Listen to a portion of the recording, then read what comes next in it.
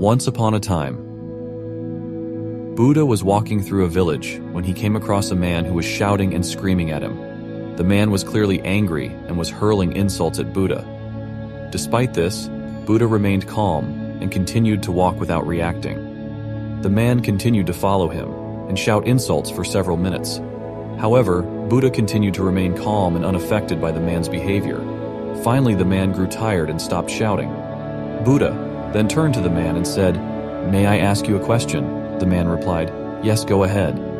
Buddha asked if someone offers you a gift and you refuse to accept it, who does the gift belong to the man? Thought for a moment and replied it would still belong to me because I offered it. Buddha then smiled and said exactly in the same way, If I refuse to accept your insults, then they belong to you and not to me.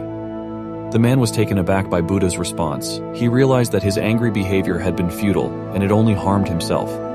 He fell to his knees and apologized to Buddha, asking for forgiveness. Buddha forgave him and said anger only leads to more anger.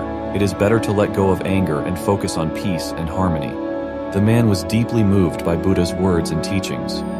From that day on, he became a follower of Buddha and tried to emulate his teachings in his daily life. He learned that it is important to remain calm and composed in the face of adversity and to treat others with compassion and kindness. The story of Buddha and the angry man teaches us the importance of not reacting to negativity and staying calm in the face of adversity. It also highlights the power of forgiveness and compassion. It reminds us that anger and negativity only lead to more anger and negativity, and that it is better to focus on peace. Thank you for joining us. Love and wisdom.